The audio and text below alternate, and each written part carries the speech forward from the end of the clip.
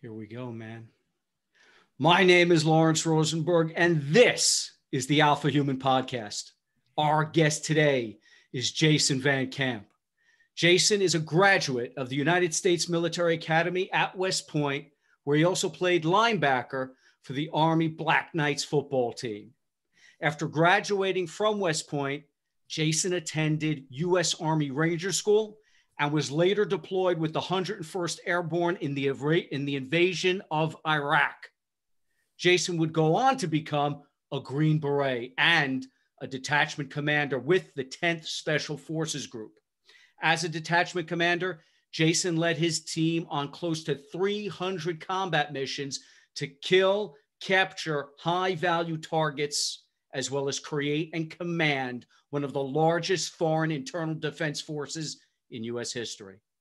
Jason is also the founder of Mission Six Zero, a leadership assessment and development company, and he is the author of Deliberate Discomfort How U.S. Special Operations Forces Overcome Fear and Dare to Win by Getting Comfortable Being Uncomfortable. Jason, welcome to the show. Hey, man. Thanks for that great introduction. I'm honored to be here. This is going to be a lot of fun. So thank you for inviting me. Uh, listen, it's it's my pleasure. I got to tell you, I, I've read Deliberate Discomfort, and um, it, there it is. It, there it is. Well, I'll tell you what. This is an amazing book, and I I highly recommend this because you've done something very different. You've you've ta- you talk about a certain type of mindset. We'll get into that in a moment, but also so many lessons on high on on performance, team performance, individual performance, leadership. There's so much in this book, but the way it's told is unique because uh, it's told from the perspective of the people you meet uh, and who eventually you get a chance to work with and later actually work with you after you leave the military it, with Mission Six Zero. But what you do is you kind of get into their personal stories told from their perspective. Then you get into the science of what it is that they've experienced. And then you get into why it matters, why it's relevant. And then you get into with each of these experiences that your teammates describe, you get into how you've applied those lessons in real life with the companies that you train and the sports teams that you train. So I, have just got first and foremost, I just want to say phenomenal book. Man, thank you. I appreciate that. Um, it means a lot to hear that because I poured a lot of my heart and soul into that book. It took me about a year uh, or so to write it. And um, I just wanted it to be good, man. I didn't want to embarrass myself and I, I wanted to, uh, to make my team and those people that know me and and stick up for me. I wanted to make them proud, you know. I'll tell you what, I you know, just knowing the the the bona fides and the, the the the, backgrounds of the guys that tell their stories in this book, uh, I I would feel just like you feel trying to live up to you know to even get the privilege to work with these guys. Um, I mean, you yourself have have an amazing story as well. But um, let's before we get into the book, just um, if you can give our audience just a little backgrounder on you. Uh, I mean, you you were a Green Beret. Um, you you were in the the Special Forces, Army Special Forces for quite a while. Uh, you were a commander um, with the Green Berets of an ODA. I mean, what first and foremost, what? Tell us a little bit about your journey to getting into the Special Forces. What led you there? Yeah, no, that's a great question. I, I started out in Virginia. That's where I'm from, right outside Washington, D.C. And uh, it's a very patriotic area. You know, a lot of um, growing up, your friends, parents, at some level, worked for the government or were in the military. Mm-hmm. And a lot of your friends would leave, you know, be there for three years and then leave for three years and then come back. Or so there's a lot of transition. And and I grew up in that environment, so that was a very common, very normal thing. Uh, I didn't grow up wanting to be GI Joe necessarily. I didn't say, "Oh, I want to be a Navy SEAL or a Green Beret or whatever." I didn't really even say I, I would um, my lifelong ambition was to join the military. It was just something that I felt um, I needed to do. You know, I needed to serve. I needed to give back. I needed to um, help other people. You know, that's what excited me. And so I decided to go to West Point. My parents were excited because they didn't have to pay for college, you know. and uh, I played football up there. Uh, we weren't necessarily a great football team when I was there, probably due to my own playing ability, you know, but uh, we were good one year and we went to a bowl game. I actually left West Point for two years after my sophomore year and I served a mission for my church, uh, the Church of Jesus Christ of Latter day Saints. And I went to Russia. So I was in Russia for two years, uh, basically as a teenager. I was 19 years old and, you know, got back when I was 21. And, uh, and I learned a lot, you know, really opened my mind to everything. And I spoke fluent Russian when I got back and got a chance to see the world, see how other people operated and made decisions and, and lived. I finished my time at West Point. Um, everyone there is committed to a five year uh, journey in the military. And I went to the artillery, you know, mainly because all of the West Point football players at the time, not all of them, but most of them went field artillery. And I just felt that that was my tribe. Those were my people, you know.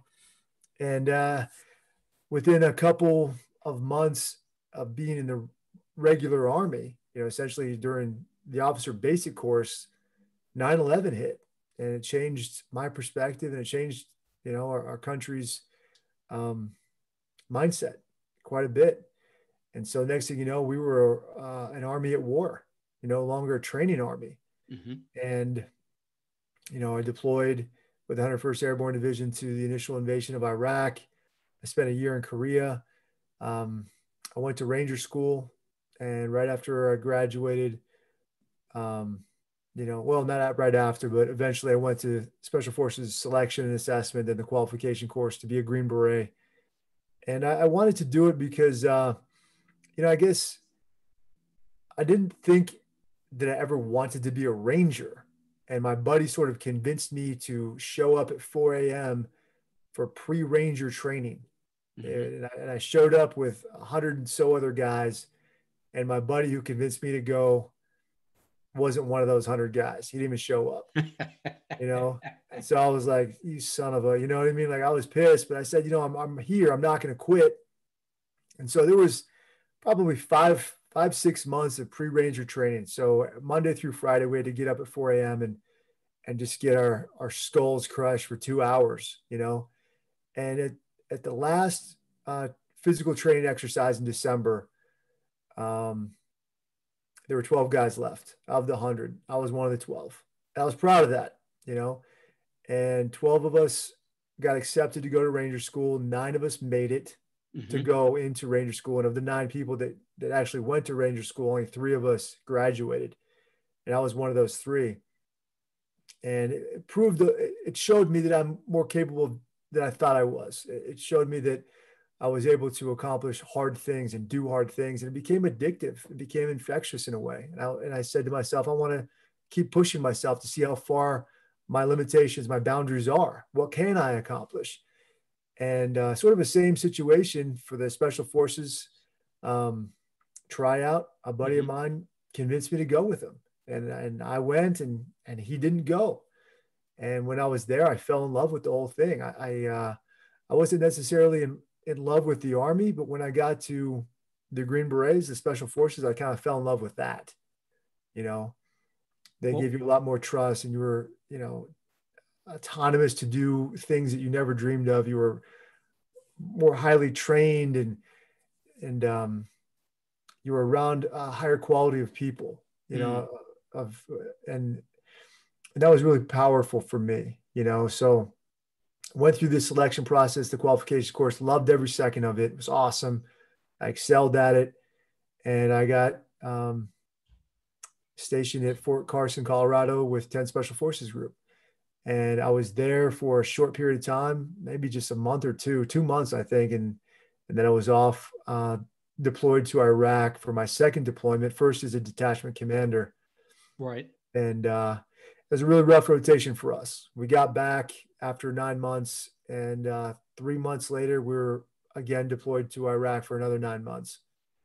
And um, at that time, my my my time as a detachment commander was up, so I got promoted to major and was sent to the group uh, AS3 shop, which is the uh, group S3 shop, which is the operations um, shop, and I was the assistant, so it was kind of a highly sought after position.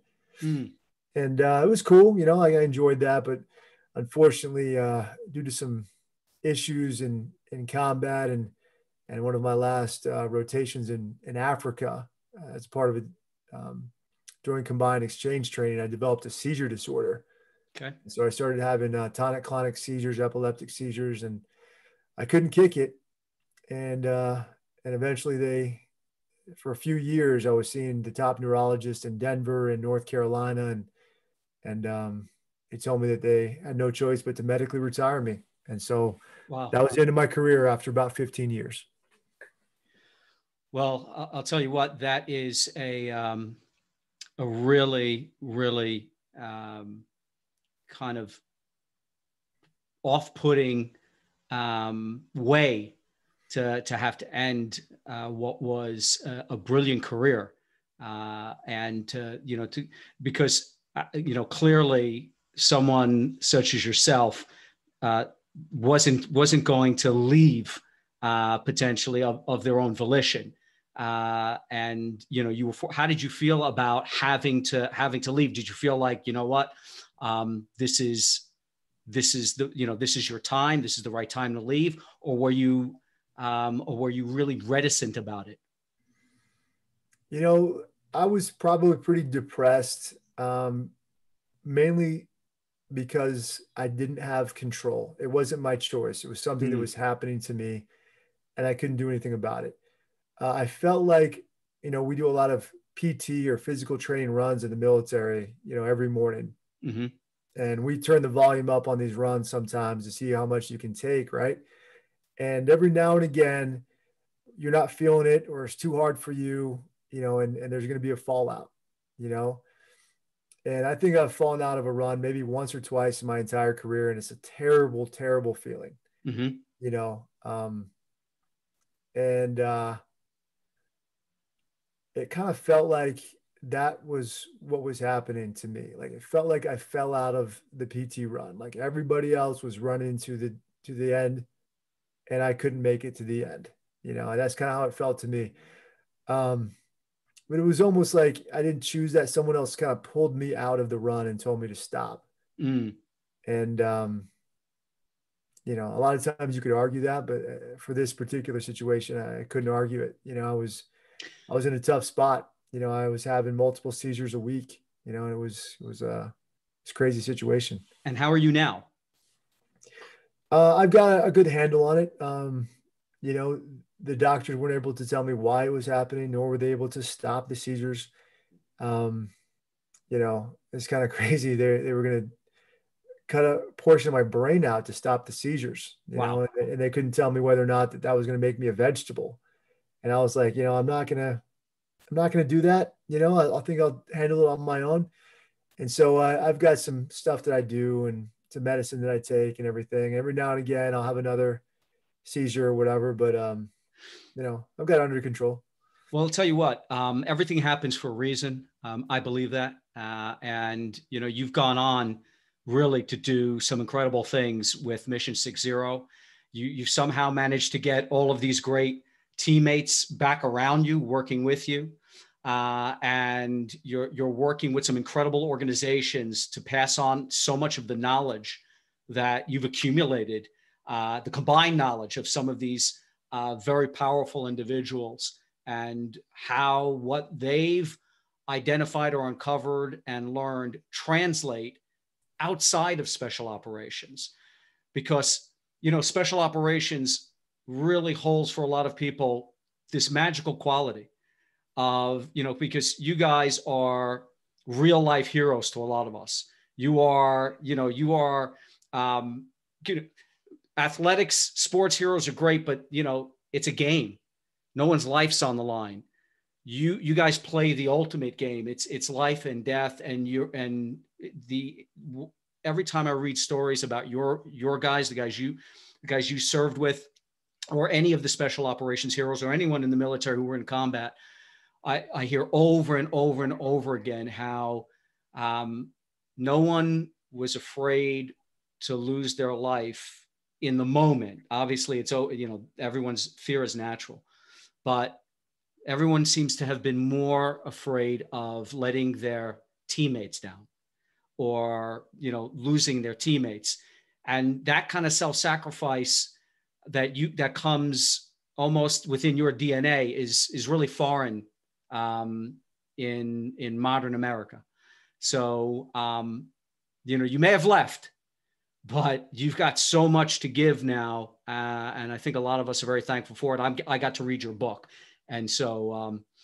you know let's get into that um, let's get into your book man Thanks, Lawrence. Let's do it, man. I appreciate all that. You know, how it works is this, man. There's there's gonna be a time when it's your time, whatever it is. If you play sports, there's gonna be a time when you have to retire. You can no longer do that. Mm-hmm. You go in the military, there's gonna be a time when you have to retire. You can no longer do that. And you're gonna ask yourself the same question: Now what? What am I gonna do with myself? And and I chose to go an entrepreneurial route. And I started Mission Six Zero and Warrior Rising, you know, and I, and I wrote this book. And so let's talk about it, man. Let's get into it.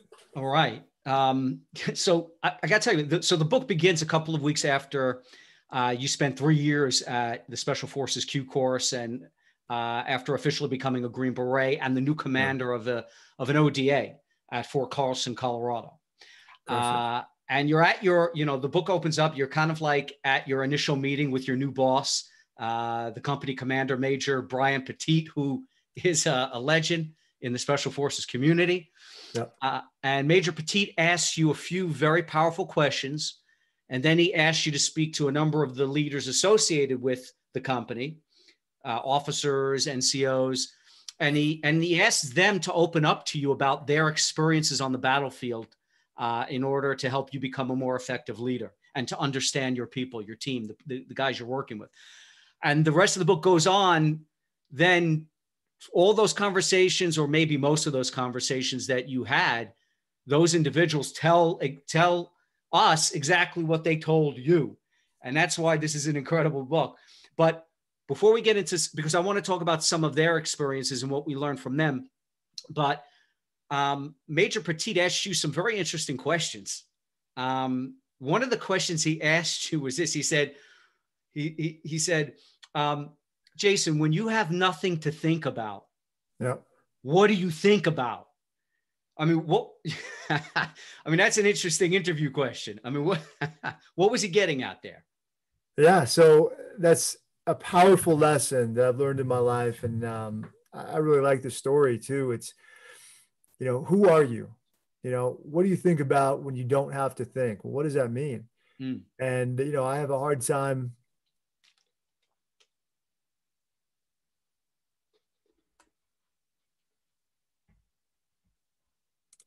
You got? Uh, did we freeze up? Yeah, it's okay. We're good? back. Okay, cool, cool.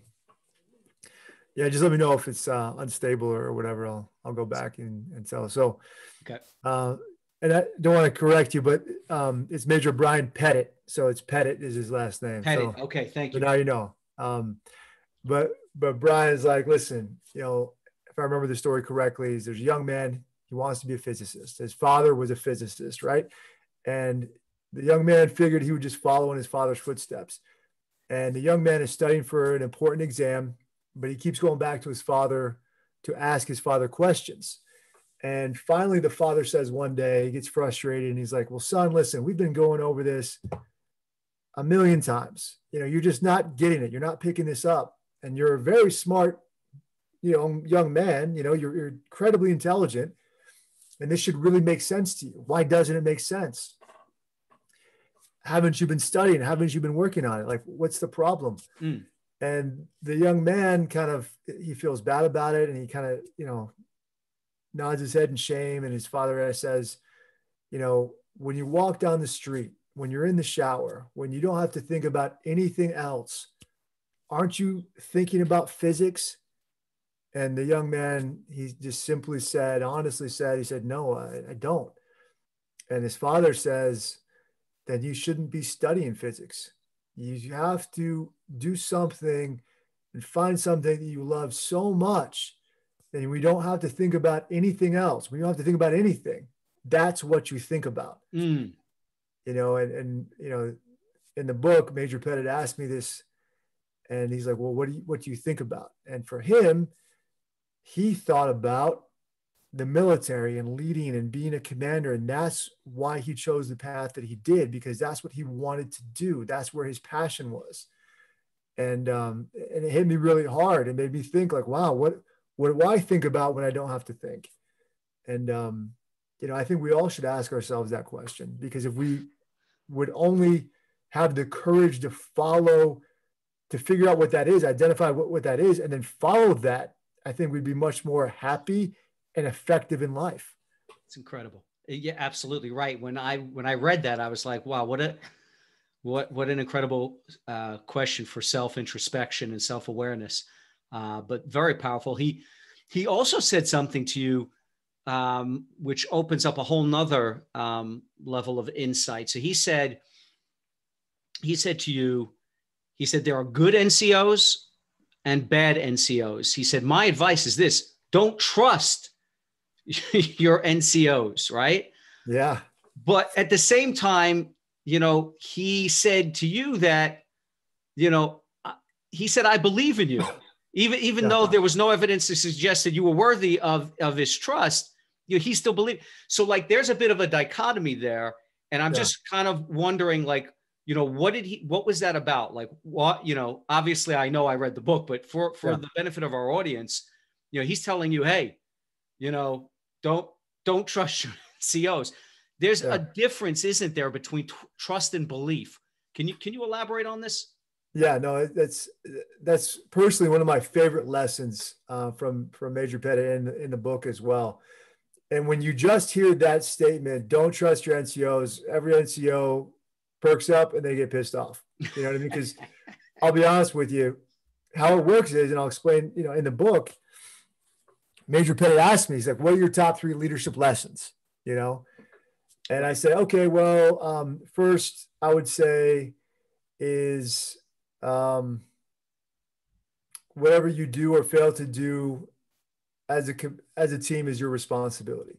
You know, we're talking about accountability. Mm-hmm. The second thing I said was, you know, officers eat last, meaning that you have to have, you have to care about your team. And one way to really truly authentically care about your team. And one way to show them that you care about them is to have them all eat first and you eat last. And oftentimes, you know, when you eat last, you don't get to eat because there's not enough, you know, MREs or T rats or whatever, you know. Um, but that's, you know, an authentic way of showing your team that, hey, listen, I put your needs above my own. I care about you. The team comes first. Mm. And the third thing I told Major Pettit from the three leadership lessons, I said, trust your NCOs.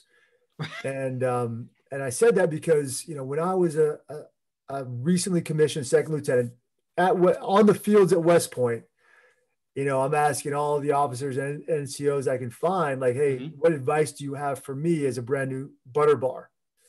And in my experience, you know, to a man, every person I asked, almost like a knee jerk reaction, they all said the same thing trust your NCOs, trust your NCOs, trust your NCOs. Wow. And I just did that in my career. I trusted my NCOs, you know, and uh, Major Pettit says, you know, trust your NCOs, huh? Well, how's that worked out for you? and I thought about it for a second. I was like, huh, well, to be honest with you, sir, it hasn't worked out that great. You know, and he wasn't surprised. And he was like, well, tell me, you know, and, and, and honestly, in my career, you know, I've, I've been honored to serve with the absolute best NCOs you could possibly imagine. Guys that you'd want in a trench with you, guys that performed in a firefight, guys that were the best of the best.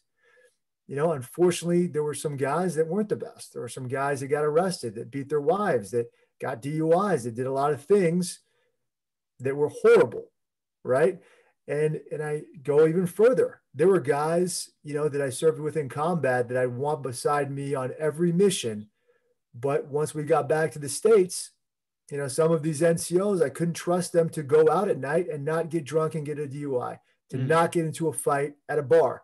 Guys that I could not trust to not cheat on their wives, guys that I could not trust.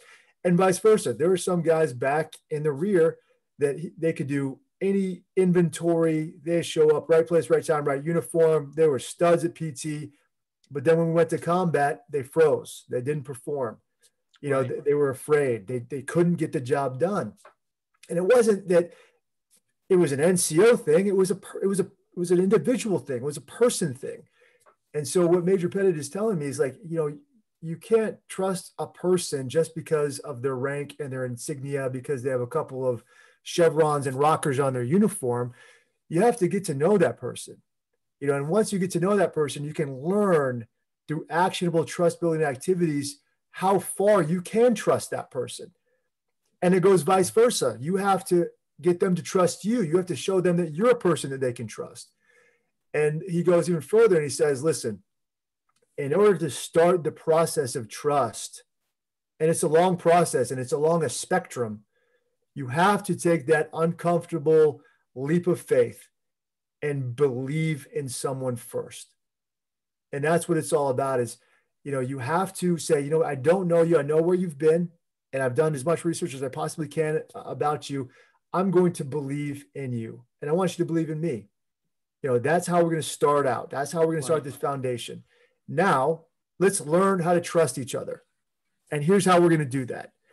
I'm going to give you a task. I expect you to do it. Here's my task conditions, time, you know, standard. Um, and you're going to do the same thing with me. And once you do it, come back and report to me. And now we've moved up a notch on the trust spectrum. You know what I mean? Right. And um, and that's how he explained it to me. And when he did that, it, it really kind of changed my perspective because it was so unconventional and different than what I've heard previously in my career. And I couldn't help but just have that aha epiphany type moment and be like, damn, he's he's right.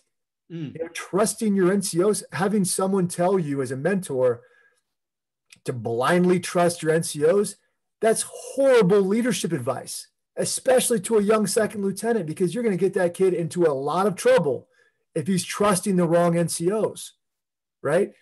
And it would be just as unconscionable and, and careless to tell brand new NCOs, trust your brand new second lieutenants or trust your officers. Same thing. You got to get to know the person before you can really trust.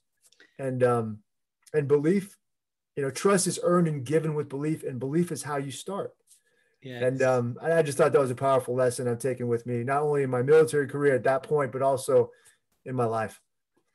Yeah, I mean that it made so much sense because then because I was I was wondering, I mean, how do you move from from belief to trust, and what's that difference? But it, it you know, Major Pettit really kind of um, brought it home that the proper evolution from belief to trust is accountability and follow through, and what you've just described there, and that is that is really so important.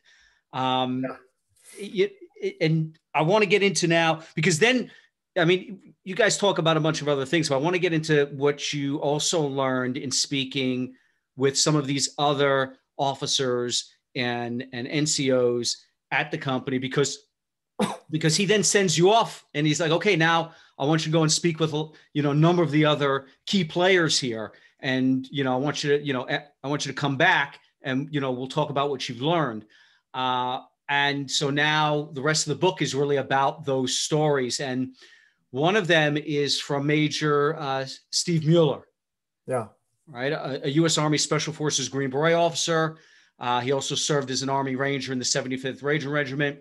And prior to that, he was a Navy SEAL. Yeah, he's a so, trifecta. He's got a PhD in embracing the suck, man. He, um, I mean, that's unbelievable. Um, and you know, kind of go into that in the in, in the book uh, about how he pulled that off. But you know, he kind of talked about something that I'd like you to help clarify because this is almost like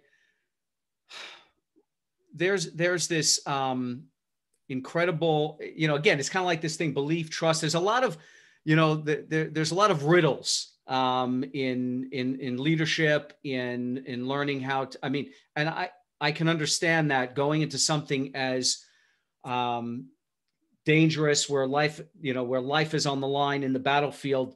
Nothing, you know, I don't know if everything's black and white. There's this this fine line you guys walk, and there's this this um, this conf- I guess a set of conflicting priorities that uh, Captain Mueller kind of talks about. So the first thing, so he says to you, and I want to know how you wrestled with these following two um, issues. Okay. Quote. So number one is this: Mueller says the world teaches us to look after number one. Yeah. We're, we're wired for self-preservation, uh, to think it's all about me. And he says, I need you to ask what's in it for the people on my team right?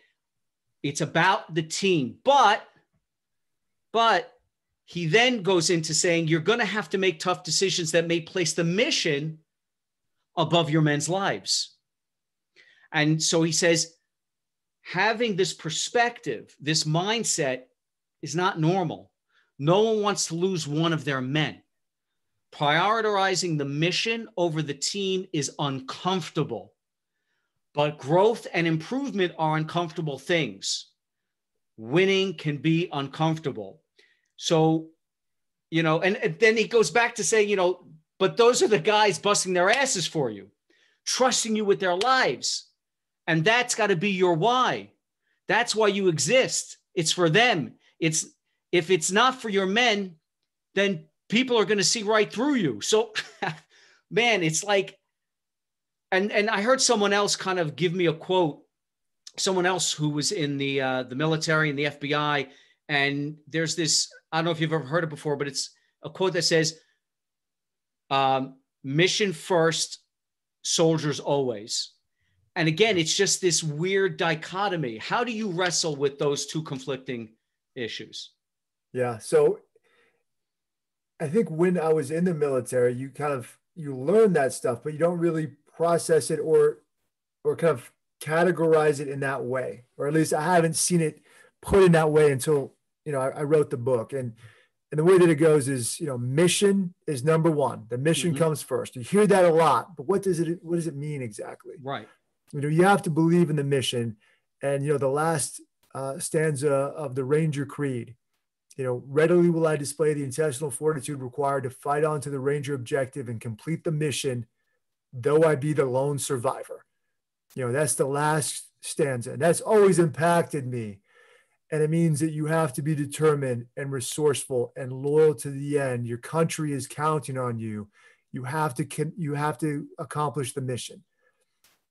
If you believe in that and you believe the mission can be accomplished and you mm-hmm. believe in the commander who's giving you this mission, you know, then you can articulate this mission set to your guys and have them buy in and understand that no matter what, this mission is going to be accomplished because that's what sets us apart as a military, you know, special operations, you know, we get the job done.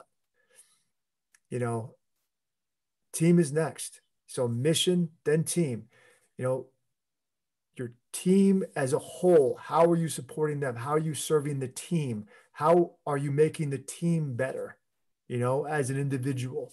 Mm-hmm. Is the team culture okay? Is the team as an entity is it surviving? Is it growing? Is it is it in a good state? Third is the teammates. You know, each individual on the team are their needs being met? Are they valuable? Are they valued? Uh, are you communicating with them often? Understanding what questions and concerns they have. Are you resolving those issues for them? and then uh, finally number four all the way at the bottom is is self it's it's you you know and, and it's not a bad thing you can't neglect yourself you have to mm-hmm. look after yourself and make sure that you're um you know you have everything you need in order to be a contributing member as a teammate to the team in order to accomplish the mission and i think if you kind of categorize the priorities in that way mm-hmm. you know you're going to be successful not only as a detachment commander or as a company commander, battalion commander, but also in business. You know, if you if you prioritize that in business and have everybody on your on, on your team and your company buy into that mindset, right. you're going to be successful. The only way that Enigma works, right? And you know, again, the mission first, team second. Although, you know, it's all about your team but nothing yeah. comes more nothing you know the mission comes first the only way that that riddle unravels is if what you just said, everyone has to buy into that mission. If if and if that trust isn't there, if that belief isn't there, if it's not with the right leader, I mean, God knows how many you know how many snafus can occur, you know, if that's the case. Um, or I shouldn't say snafus, maybe fubars are, are more likely in that yeah. instance. Um, so there, okay. So an, another thing that you get into in the book um, is this this uh, piece about um, self determination theory. Oh yeah, right. And and you know you you talk about um, in the book kind of this you know humans having this natural tendency to want to be motivated. And of course, you know if you're going to be motivated to complete the mission when your life's on the line, this is this is so important. But I'm, a, quote from the book uh, is this: If you want employees because then this is how it translates, right? So if you want employees who are fully and deeply committed to your organization's missions, goals, and values, and if you want employees that are happier, healthier, and more engaged, then the leader has to make sure three needs are met autonomy, some sense that one's behavior is freely chosen, mm-hmm. competence, the yep. feeling of mastery and growth, and relatedness, meaningful connections with others. Now, I, what I'm curious about is how do you how do you help a team meet those needs? How do you help them, right, have that autonomy, have that competence, and be able to connect with each other? How how does you know how does that work? Yeah, I love self determination theory. It's it was also an aha kind of epiphany type moment for me when I when I learned about this because what it says is by and large rewards and punishments don't work. You know, and, and when I first heard that, I was like, they work. Like, how does it not work? Well, they work to an extent, but what what we're trying to say is that in order for you to get to the level that we're trying to get you to, it has to be internalized. Right. And this is how you do it. Like with those three things you said autonomy, competence, and relatedness. So, autonomy, everyone has to believe that they have a choice. And I say this all the time choose hard things, or hard things are going to choose you. Hard things are mm. coming anyway. 2020 came anyway. You didn't have a choice in it. You might as well accept it. You might as well be proactive. You might as well do hard things before the hard things show up at your doorstep. Wow. And really, what it comes down to is autonomy. It's, it's convincing yourself that you have a choice. It's powerful. And competence, you have to have a challenging task for your guys. You can't it can't be something easy and it can't be too hard. You have to match the skill level with you know the, the task. Okay. Right? And it has to be something, you know, we can't say, "Hey, we made $500,000 last year as a company next year we're going for 50 million. It's like, well, that's a bridge too far, you know. But if we're going to double it and we're going to go for a million or a million point five, it's challenging. And I want to, I think I can do that. I know what I need to do to get there. Um, and then relatedness, you have to show empathy.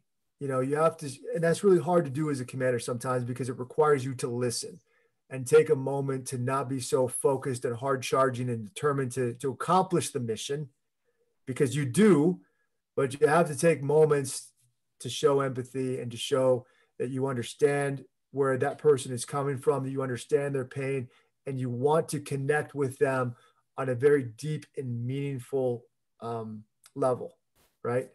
And I think if you can do that as a, as a leader, you know, you can instill that that and have people internalize that mission, that that message that you're trying to get them to buy into. Yeah, I, I was fascinated by what you wrote about self-determination theory because as soon as I read avoid the use of extrinsic uh, extrinsic rewards and punishments. Yep. Uh, forget about the punishments part. The rewards part kind of blows your mind a little bit because when you come from the world of business, yeah, uh, and I've led sales teams for the past 25 years, right? So that's that's my world. And you know, you, you're right. In the end, you are correct, but it's so hard to wrap your head around, and for companies to wrap their head around it's actually not about the rewards. And yeah. that's how most organizations um, look to um, get your dedication, your, you know, your commitment to, to get your motivation. They look to buy your motivation with rewards. And of course, we think that's what we want, but you're right. That's not what we want. What you, what you talk about in the book, thinking that you have autonomy, right? Um, having a role that, you know, your competence is respected in, um, and being able to connect with others on a deeper level uh, to accomplish a mission you know, if you can actually find a role like that in a, in a company like that and be part of something like that, man, the money, all the other stuff just comes. No question. No question. And it comes down to me having a, a deep, meaningful conversation with you and saying, what are your goals? What do you want to accomplish, Lawrence? Where do you want to be? What do you want to do? And, you know, oftentimes when we have that conversation, you won't know. Right. I, I don't know. Well, think about it. You know, really deep dive and think about what do you why are you here what are you doing what do you want to accomplish how can i help you accomplish your goals you know by the way if you help me accomplish my goals i'm going to mm. help you accomplish yours and this is how we're going to do it yeah that that's what major uh major steve uh mueller said said to you when you he's like why are you here where are you going how are you going to get there yeah right yeah so but you know um one other thing um you so hold on a second. This, yeah, um, I was looking for it here. This was this was something I really wanted you to elaborate on. You say in the book, the secret to the elite mindset of special operations forces. I love the setup here. That's such a powerful thing. The secret yeah. to the elite mindset of special operations forces, no matter how many books you read or podcasts you listen to, is to look up. What is the look up mindset? I love that you asked me that. And, you know, I think, to be honest with you, chapter two is probably my favorite chapter in the book. Um, mm. And I, have done the research, and it's not anybody else's favorite chapter in the book, but that's okay. Um, but it's it's one of mine. It is mine. And I love all the chapters. I'm not saying that. What, what I'm saying is the lessons here are the lessons that have really impacted me in my life, you know. And I tell a story about going to selection. Okay. First day, getting off the bus and doing log PT, log physical training, meaning you get into a small team mm-hmm. of, of new, you know, uh, candidates, special forces candidates, and and you hold a 300 pound, 400 pound log over your head, you know, for as long as you can. You um, do inverted push-ups, you do relay races, you do bicep curls with it, you move it from one shoulder to the next, and you do this for hours. And there's a reason why the instructors do this is they want to see um, who you really are. They want to see your character come out. When the stress increases, the pressure's on, and you're physically exhausted and you're tired, you can't fake it any longer. Your true personality comes out. Right. You know. And uh, you know, when we first start, you got the cheerleader types that are rah rah and they're excited, they're talking, and you got the, you know, all these people talking and some talking trash or whatever. And, and after about 20 minutes, nobody's talking, man. Okay. Everyone shuts up. And you don't hear really anything except for the instructors yelling at you, guys breathing hard, guys puking. You know what I mean? Like that's what you hear.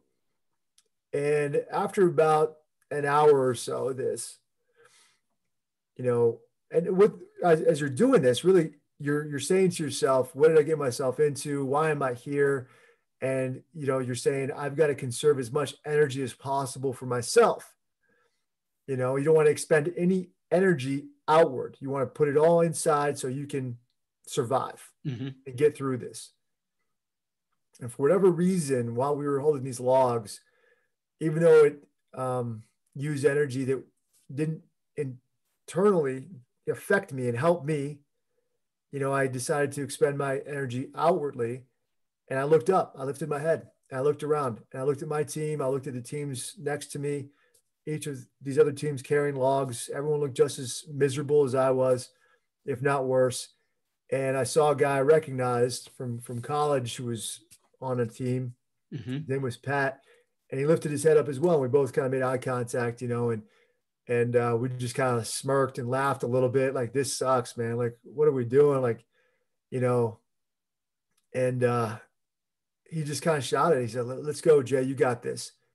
And you know, had no choice but to you know reciprocate. You know, you know, I, I shouted words of encouragement back at Pat. You know, and then all of a sudden, that inspired other guys to look up. And so a few other guys looked up and looked at me and looked at Pat. And we are just kind of looking around. And all of a sudden, we were kind of shouting words of encouragement at each other. And as we were doing this, it was interesting to me because I realized that time seemed to move faster, you know, and the log felt lighter. Mm. And I didn't really focus on my pain any longer. I was focusing on helping these other guys succeed and win.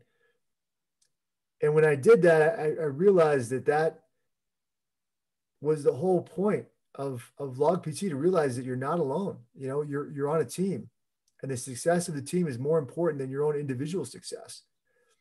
Now, not everybody lifted their heads up. You know, most guys didn't. Mm. You know, and there were guys quit. You know, during this whole situation, this whole like first day deal, and um, and I realized, you know, flash forward a couple years later, we were graduating from the Q course, and I was in formation. We are about to don our green berets. We had our green berets in our front right pocket, you know, and big celebratory event. And I, for whatever reason, looked up again and I looked around me and I saw guys to my left and to my right, to my front, to my rear. And I, and I had this other epiphany. I was like, wow, all these guys that I'm standing in formation with, about to don our green berets for the first time that have made it through this two, two year, two and a half year, three year course. All these guys are the same guys that looked up on day one. Wow. You know, and that's the secret. And I say in the book, man, it's it's no matter how many books you read or podcasts you listen to, you realize that it's not about you. It's about the guy to your left and to your right. You know, and, if you put forth all of your effort and your energy to helping that person succeed, you're going to succeed as well. You know, and, and I and I say in the book, it, it just doesn't apply to physical stress and special forces. It applies to everyday life. You know, you know, I go to church and this is in the book. I'll just, I don't know if you want me to get into that, but I go to church every Sunday, you know, with my wife and my kids. And when my daughter was very young, we would get dressed up, we'd get her dressed up, we'd go to church and then we sit in the, you know, um, in the pews and, mm-hmm. you know, like clockwork, my daughter would start crying and she would make a racket and, you know, being a sensible parent, we would remove her from the situation. We'd go sit in the foyer. Mm-hmm. And you know, we sit in the foyer and we try to calm her down. We'd try to get her to play with something. We'd let her kind of run, you know, in the in the in the uh, the hallway a little bit and just kind of calm down. Try to go back inside and be able to sit down for another ten minutes or something, and then we have to come back out into the foyer. And um, after a few months of this, my wife and I just were exhausted. We just kind of looked at each other, we're like, "What are we doing? Mm. Like, why are we why are we going to church? Like, we get dressed up. We got to get up early." we got to put a suit and tie on and a dress on. We got to get our daughter dressed up. We, we come here. We don't hear the sermon. Mm-hmm. We don't go to Sunday school to hear the lessons. We just sit in the foyer and we try to distract our daughter. What's the point? What are we doing here? And when I was talking to my wife about this and frustration, and she was frustrated, I was embarrassed because I remembered you know, my experiences in the military, specifically log PT from years ago, you know, and I, and I realized it's not about me. It's about the people to my left and to my right at church. I'm here for them. I'm here to serve them. I'm, they're not here. They're not there to serve me. You know what I mean? And so I realized that even if I'm sitting with my daughter and my wife in the, in the foyer doing nothing, I can serve in some small way. Mm. I can say hello. I can open a door. I can give somebody a smile.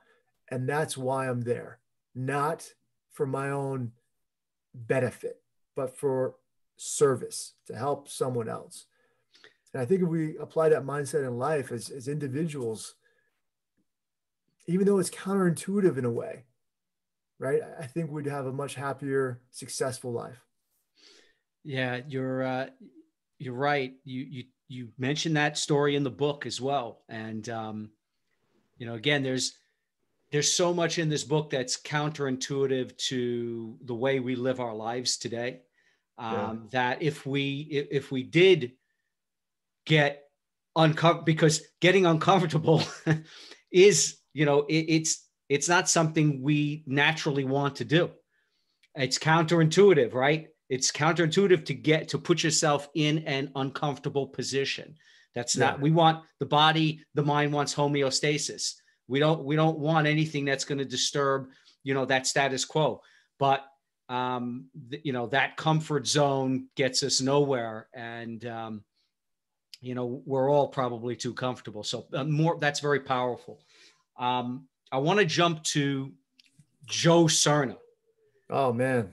Yeah. Wow. Um, so uh, retired now, U.S. Army Special Forces Green Beret NCO, uh, yeah. earned a Bronze Star, um, two additional Bronze Stars, two Purple Hearts, um, yeah. three combat rotations in the Middle East. But it's the story that he tells, uh, near death struggle, um, th- this this uh, experience that he had that he relates to you. My God. Um, so so it's it's in the chapter called Fog of War. Yeah. And his life and near death struggle as the vehicle that he and his men were in. He tells a story about how they crashed into an aqueduct and he was he was faced with this fog of war moment where the kind of like the overwhelming nature of the chaotic circumstances those uh, VUCA, right? Volatile, what is that? VUCA, volatile, uncertain, complex, uh, and ambiguous, ambiguous circumstances, yep. yeah. right? Um, it, it, consumed him and his men, and ma- namely because um, initially he was, he, you know, he was unable to get free of his harness while the vehicle starts sinking and taking on water. He can't get out of that that harness, and the inability to escape and avoid drowning kind of leads to a feeling of loss of control, helplessness, panic, Yet in numerous instances, he chose to take control of what would happen to him. And it's really, there's like, there's like a number of moments while this is all happening as like, it's almost like a movie. I mean, the, the water starts coming up to the last inch of the vehicle. He's sucking what air he can. One of his guys is, already down uh, underneath the water and, you know, out. And you know he keeps taking control of di- different elements of that situation. I don't want to give away the story because it's so powerful. Um, but you know how does I, one of the things that you talk about is how emotional intelligence helps in instances like this. And um, how it it helps in the uncertainty of chaotic environments and I, kind of wanted to I, I want you to I want you to get into why that is, but also there's this concept that you talk about called the locus of control. Locus of control. What is this, and and why is it significant? Yeah. So so Joe's the chapter with Joe Serna, chapter five, is according to market research, is probably everyone's favorite chapter, and it's wow. a powerful one. Yeah. You know, and Joe, um, you know, like you said, he's in his RG31 up armored truck that, you know, um, falls into an aqueduct and is overturned and all the electrical went out. And, you know, water's rising higher and higher and higher. You know, it's it's as uncomfortable and stressful a situation as you can imagine. You know, trying to get out, you know, time's running out, you don't know what to do. And you know you got to make a choice. And joe at one point he said i'm going to die. And he put a gun to his head. Mm-hmm. i don't want to drown. You know and then he thought about his family. You know he thought about his kids and he thought you know how much he loves life and he thought you know i i don't want to do this. And he makes a choice. You know it was his decision. I'm not going to drown you know, he changed his mind. He decided to concede to a higher being. And this choice, you know, this decision is is your locus of control. And Dr. Sarah Spradlin, one of the one of the amazing scientists and veterans on the Mission Six Zero team, she coined the locus of control phrase. That's her her thing, and it's absolutely a powerful thing. You know, when your emotions start to get the better of you and they ignite, mm-hmm. and decisions are made and actions are taken, you start to see different perspectives. And as humans, you know, it's very easy for us to self justify. So we instantly begin to categorize our thoughts and our decisions and our actions as either, you know, this is a success or this is a failure. And in doing so, we attribute uh, success and failure to either of those things we have control over, right? Or to those external forces outside of our scope of influence. So the position we choose is called, with Dr. Sarah Spradlin, it's called the locus of control. So imagine, um, you know, uh, lazy Susan, right? Mm-hmm. And if you maintain the position that outcomes are derived from your own thoughts, actions, and decisions, you believe that you maintain full control of your own success and failure. You maintain what is called an internal locus of control. And an external locus of control is when you feel like you have little to no scope of influence over your own success or failure. And that's um, as though you're an actor in a movie that's your own life. Mm. You know, so what we ask folks is, you know, where do you fall along the spectrum of your locus of control? You know, what's your dominant position? You know, and and once you understand that and where you want to be, you know, if you have an internal or an external locus of control, um, we can help you kind of by understanding yourself and becoming self-aware of this mm-hmm. understanding your emotional intelligence because ultimately we believe that locus control is a component of emotional intelligence. Uh, we can help you identify accept adapt and effectively manage situations better that you simply cannot influence. You know uh, we tell people all the time you know control what you can control and if it's outside of your control don't put happiness in someone else's hands. You know control your own happiness.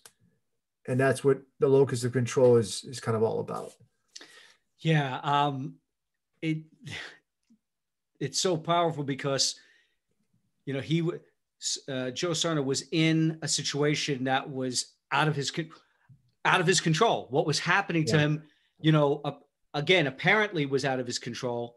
And you know what what ends up happening to him he ends up not having control over but yet he figured out how to exert control in smaller ways throughout that experience in a, in a number of ways so again another enigma how to how to find your locus of control in in in, uh, in situations where you have no control you know these that's why these are powerful lessons um yeah no, no um, doubt. When you're in situations like that that are out of your control, there are certain things in that situation that you can control.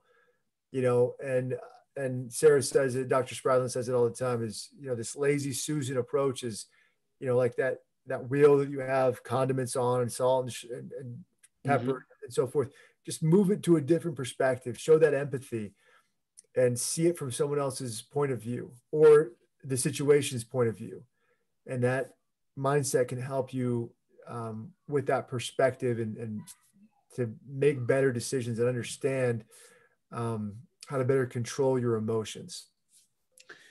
Yeah. Um, I, there's so many other um, lessons in this book from these great stories. I want to hit you with one more story. Sure. Um, and that's from Master Sergeant Leroy Petry. Yeah, Petry, Petry. Another, Petry. Yeah. Petry, right? Yeah, um, I got to learn to pronounce these names correctly. No, no, it's it's it's hard, man. I, I made those same mistakes when I first met these guys too. You know. so here's a you know master sergeant, right? 15 years active duty uh, service with the 75th Ranger Regiment. Yep. He, he earned the Medal of Honor for his actions uh, during combat in Afghanistan, and you know he this chapter is kind of about spirit um, because they, another incredible story, right? Because he he loses his hand. Uh, so so he's in this incident where um, he he's in a he's in a courtyard um, with his guys and things you know start to go um, you know tarfu things get really you know messed up quickly right yeah. they start people you know the the the um uh, uh, the the enemy combatants start they start throwing grenades out of nowhere, and he sees a, he sees a grenade on the floor. Now he's by the way he's already been shot in in the legs. twice. So, right. And and he's not even he's like, you know, he's not even thinking about stopping. He's still going. And he sees one of the grenades on the floor. And he looks at that grenade and he's like, man, that that doesn't, you know, that looks like a grenade from like the Vietnam War. He's yeah. like a pineapple grenade. Yeah. Yeah, it's a, like a pineapple. He's like, we don't have grenades like that. And he's like, oh shit, it's not one of ours.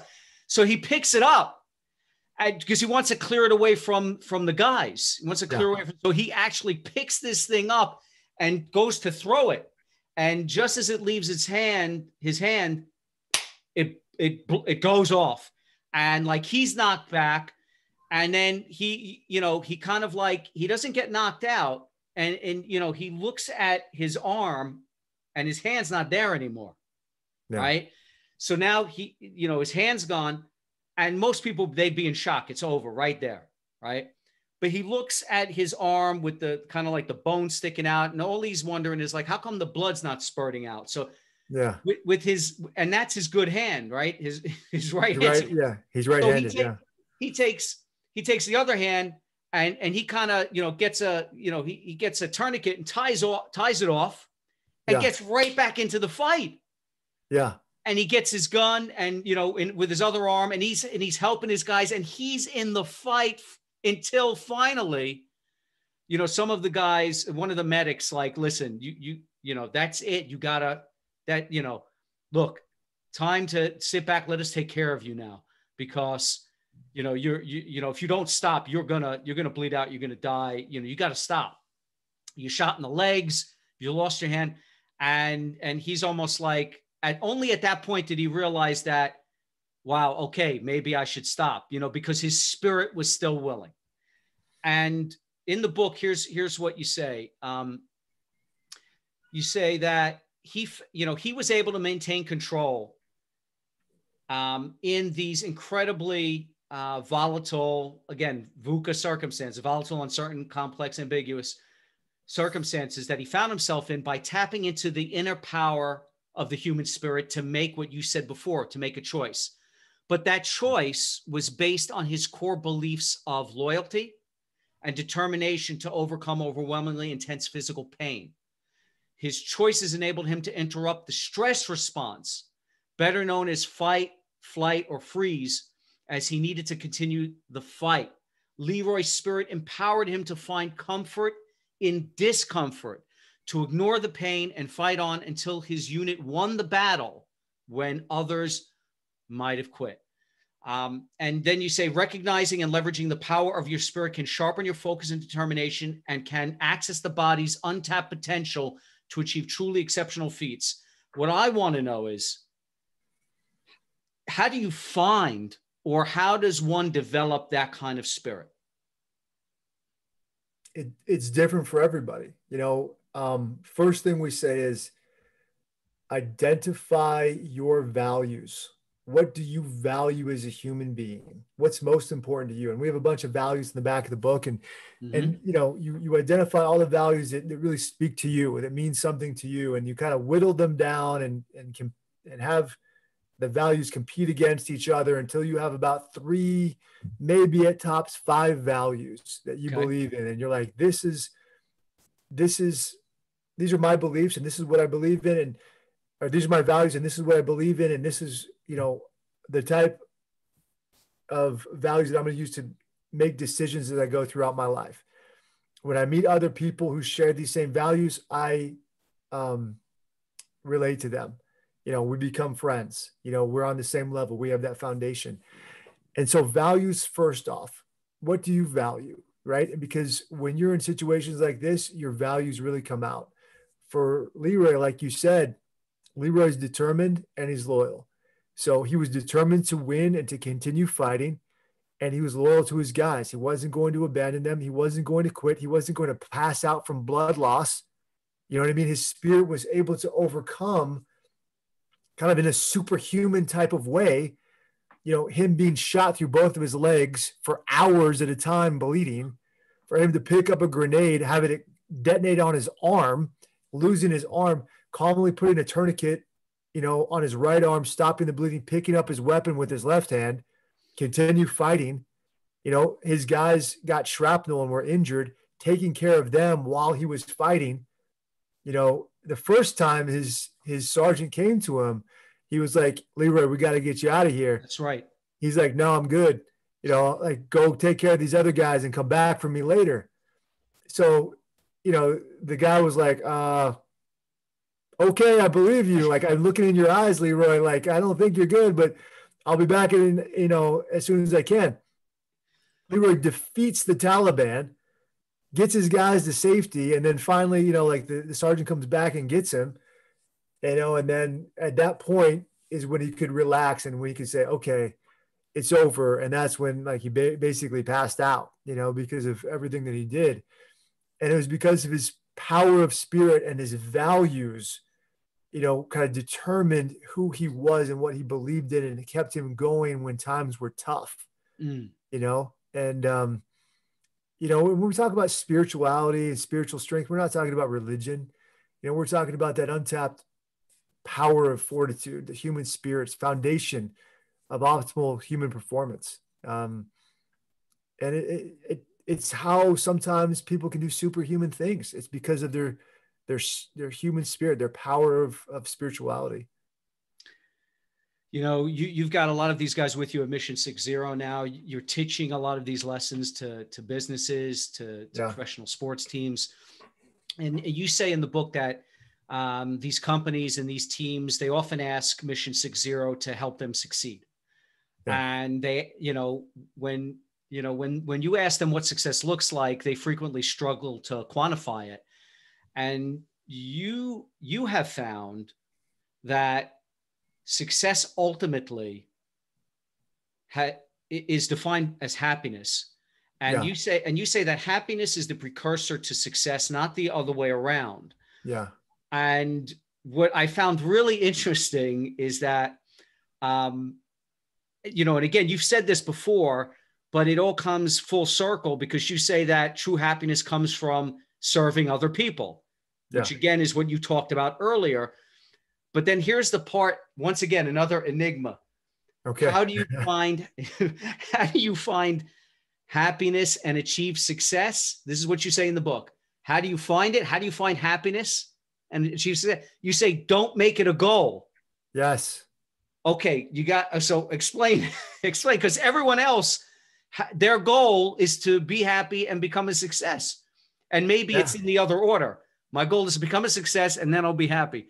But even if it was not in that order, if it's in the right order, which is my goal is to be happy, you're saying no, don't make it a goal. Please explain.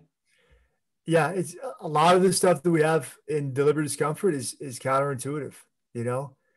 And uh, so it's like if you want to be happy, you can't try to be happy. You can't focus on being happy. Like, how does that work? And the the quote that I use is is a line taken directly out of um, a book by Viktor Frankl, Man's Search for Meaning. Oh wow! You know, and, and in that book, it's um, it's incredibly powerful because um, he's uh, a Jew in Europe during the Holocaust, mm-hmm.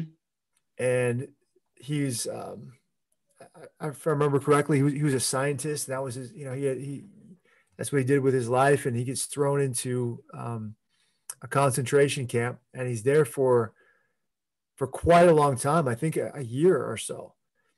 And he's seen all the things that you know the, the guards are doing to them, and how they're losing their humanity, and and how some of his fellow prisoners are um, making decisions to keep themselves alive, but they're very questionable, unethical decisions.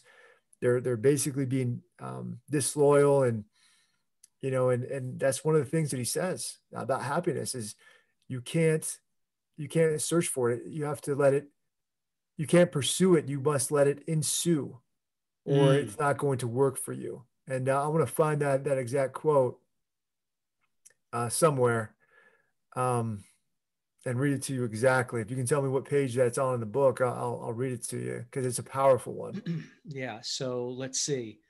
Um, I will tell you because I have the, the book here. Um,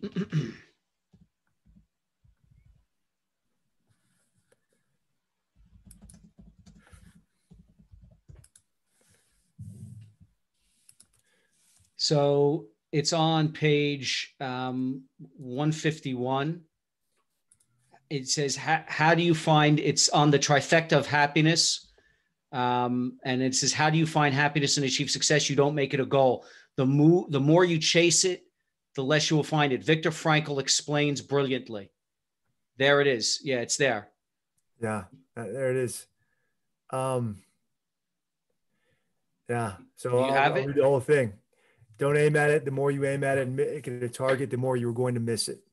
For success, like happiness, cannot be pursued, it must ensue. And it only does so as the unintended side effect of one's personal dedication to a cause greater than oneself, or as the byproduct of one's surrender to a person other than oneself. Happiness must happen. And the same holds for success. You have to let it happen by not caring about it. I want you to listen to what your conscience commands you to do and to go on to carry it out to the best of your knowledge. Then you will live to see that in the long run, in the long run, I say success will follow you precisely because you had forgotten to think about it. Powerful and it's counterintuitive, you know, and, and this is a guy um, that lived through the Holocaust, the concentration camp. You know, he, he lived through seeing the worst of humanity you know, and this is a guy that still believed in happiness and success, and a guy who said, you know what, you got to let it happen. You know, the more you chase it, the farther away it's going to be. You know, you have to lose yourself in service to others, and only a life lived for others is a life lived worthwhile. And that's what I believe.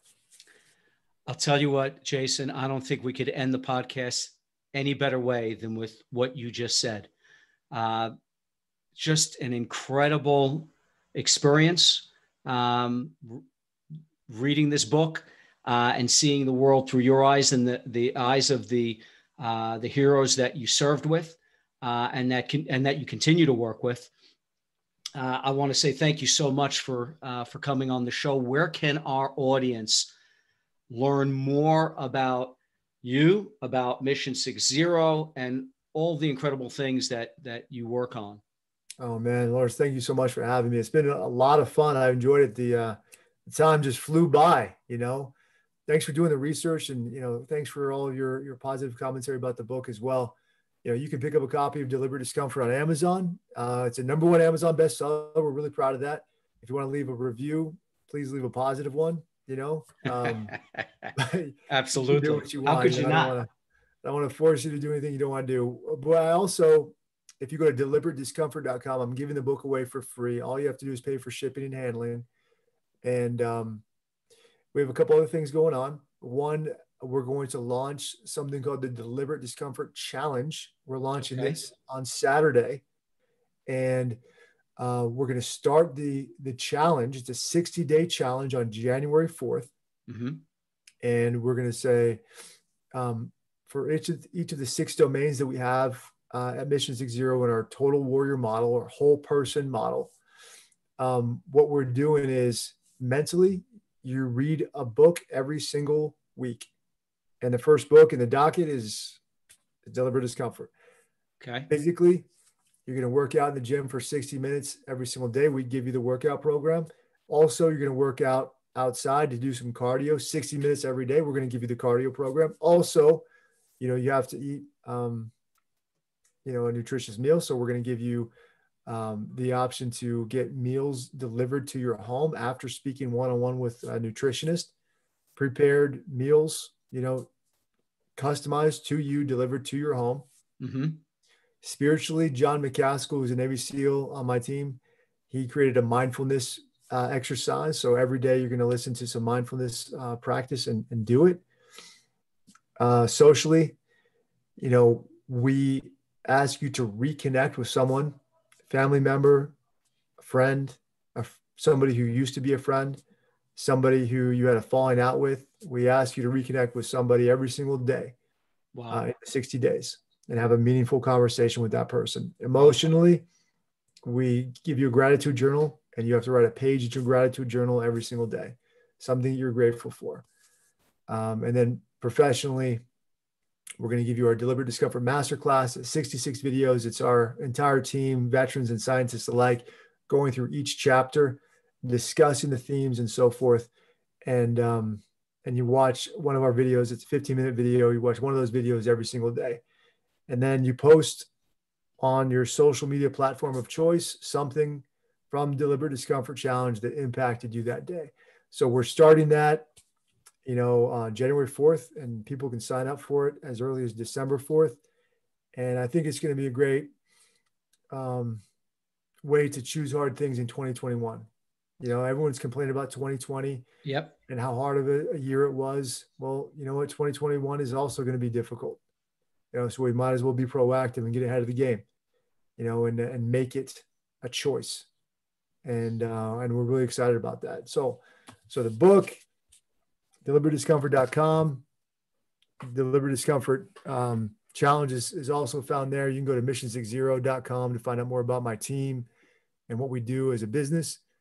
And um, sorry for being so long winded, Lawrence, but that's what we got, brother. So thanks for having me on. No, man, I love it. I love it. I, let me tell you something.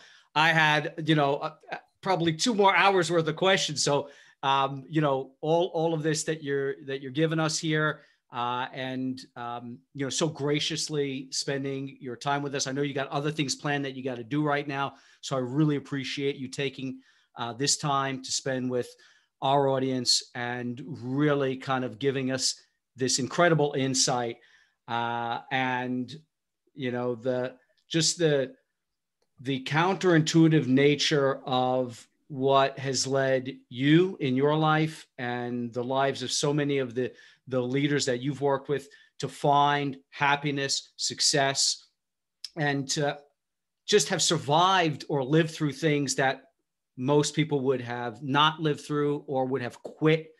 There's so many more incredible stories in this book. I implore everyone listening, you got to buy this book.